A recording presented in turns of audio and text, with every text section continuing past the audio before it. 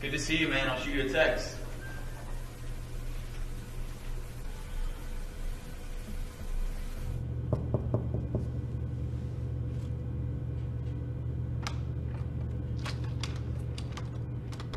Hey, what's up, buddy? What's up, man? You liking the new job?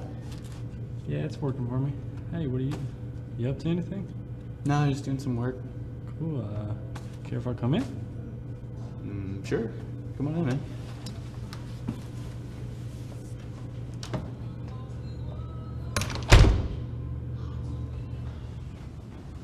What do you do all day, dude? I work from home. You know this.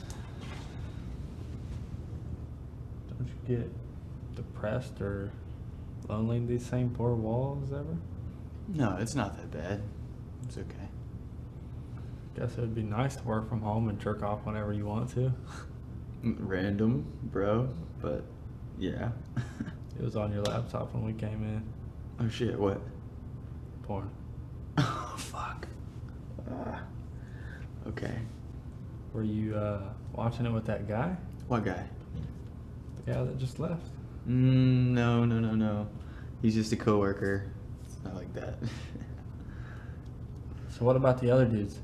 what? What other dudes? I've been seeing them come and go for days. They look a little different the, when they leave than when they came. So, what, you keeping tabs on me, man? Like, what's up with that? No, man, it's just kind of thought you were my best friend. It kind of seems like uh, you haven't been being honest with me. Man, I just, I don't want people to know yet.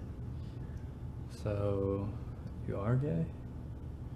Bi, gay, I don't know. So, how long you been doing dudes? I mean, a couple years, like three years or something. Kind of seems like you know what you like. So, why not me? Not hot enough to make the move? We're friends, man. Better than a stranger, isn't it? But you're not gay. How do you know? You keeping a secret too? No, but might be curious.